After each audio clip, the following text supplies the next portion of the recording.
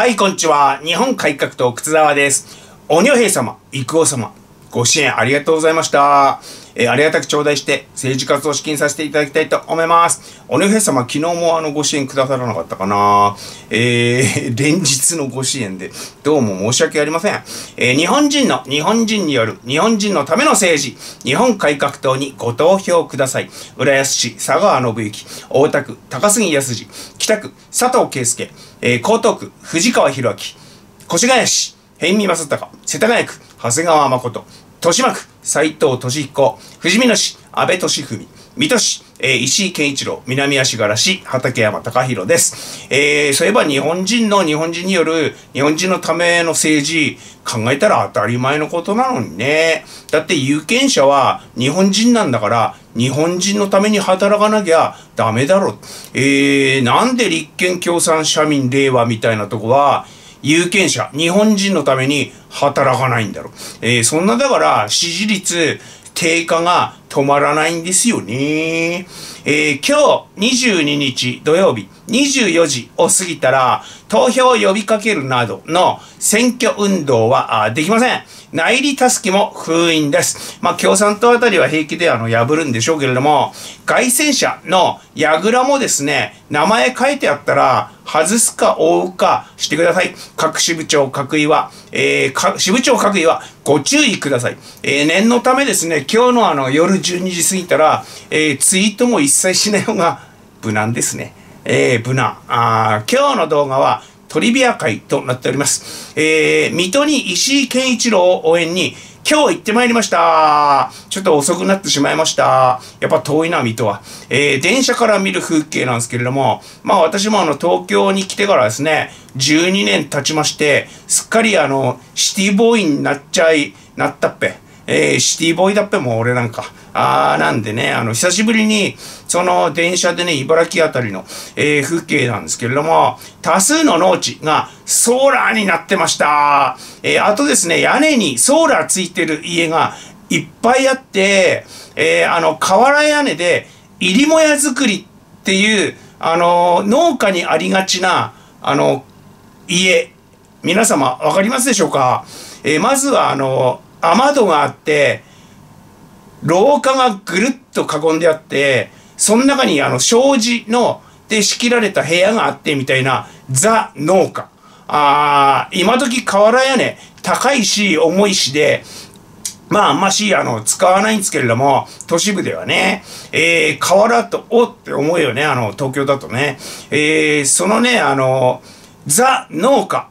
の屋根にもソーラーあって、もう違和感しかないですね。えー、10年後、20年後、パネル廃棄台に腰抜かすんだろうなえー、つけるときは、あの、うんまいこと言われて、電気代こんなにお得ですよ。えー、得した分のあの総額上回るぐらいの廃棄代いくらですなんて言われて、えー腰抜かすんだろうな。払えないっつって、えー不法投棄が横行すんだろうな。山に投げて切っちまえなんつってね。えー減反中の田んぼも多数ありまして、えーまああの、これ田んぼじゃないか元は。って思ったところにもソーラーパネル、えー、一食一合、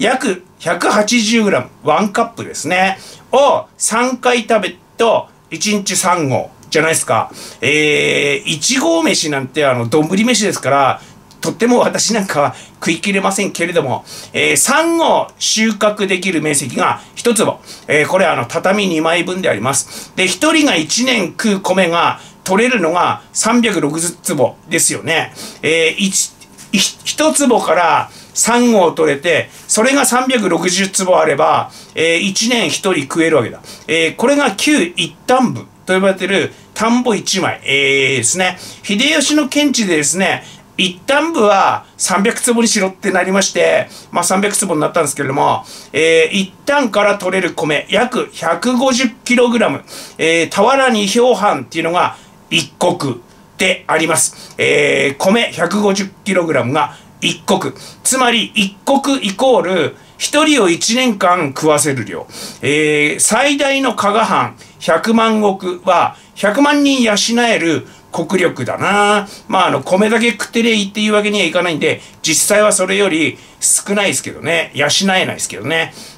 えっ、ー、と、一万石の領地の殿様が養える兵は約250人だったそうであります。えー、っていうか、いざとなったら、一万石の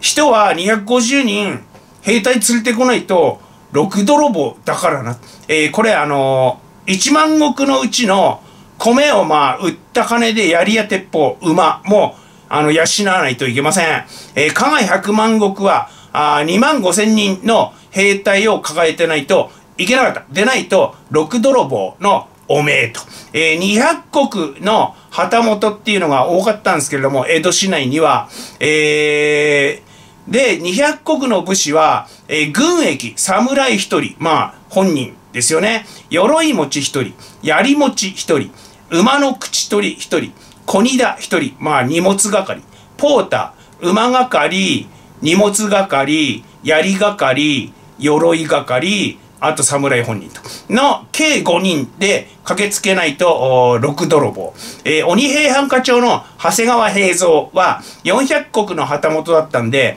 えー、将軍家直進なので、まあ有事には10人、えー、連れていかないと6泥棒になると。江戸時代まではですね、一旦一国イコール150キロだったが、品種改良と肥料改良、工作機械の改良で、うんとあの、田んぼを耕せるようになったとか、えー、細かく。で、去年のあの、一旦あたりの収穫量は、全国平均 536kg に増えております。えー、4倍近くになった。あ明治維新前よりも、その4倍近くに増えました。同じ面積から取れる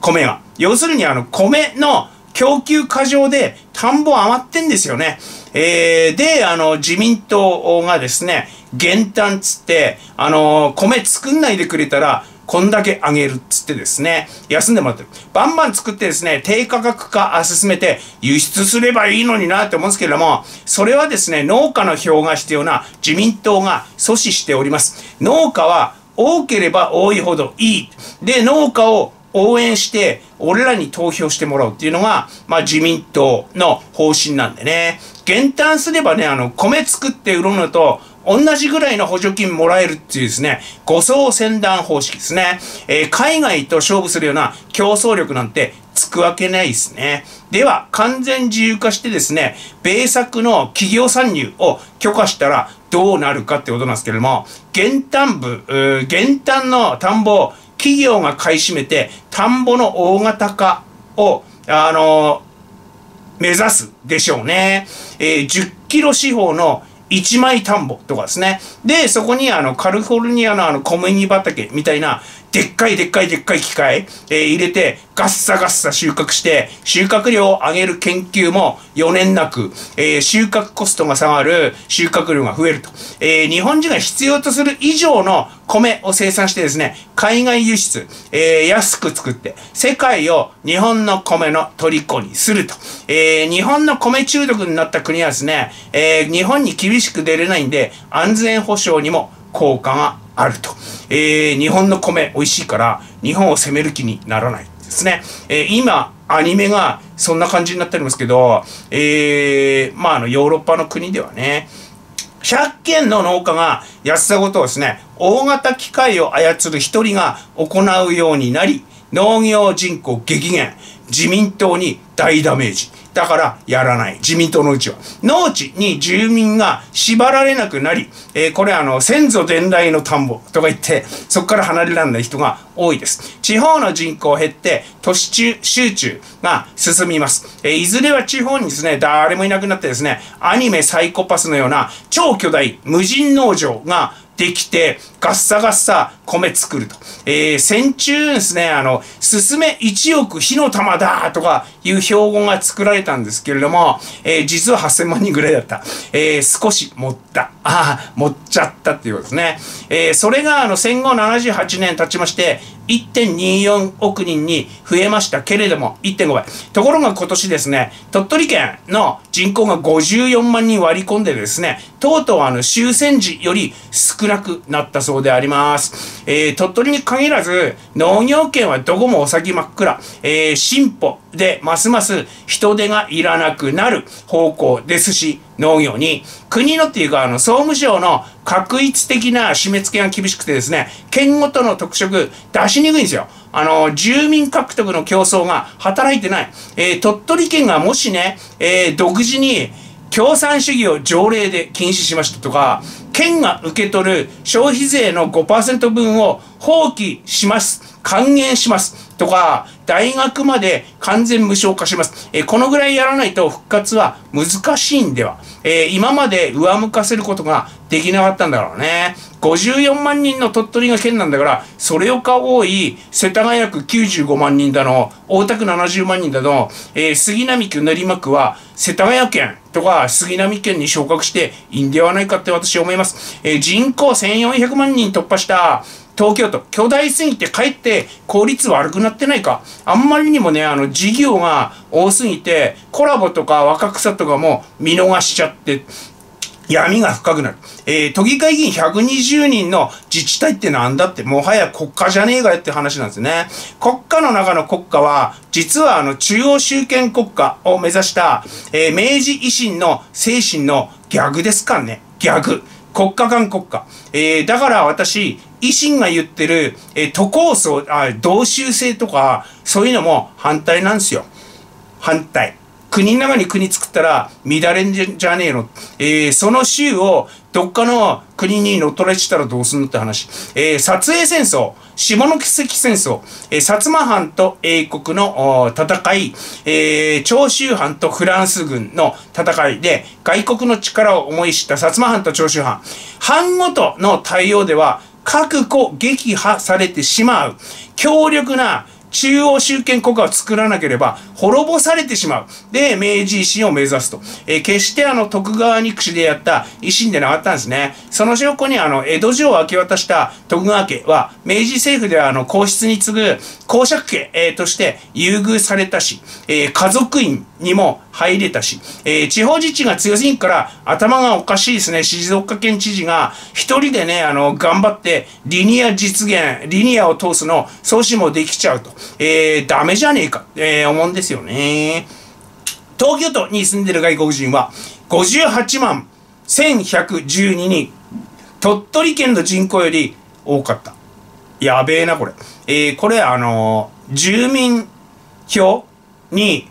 登録してある数だけですから、実際はもっと不法滞在とか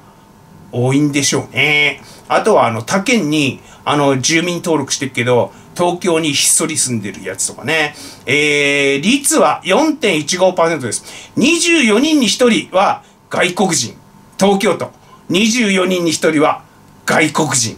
えー、一番多い中国人は23万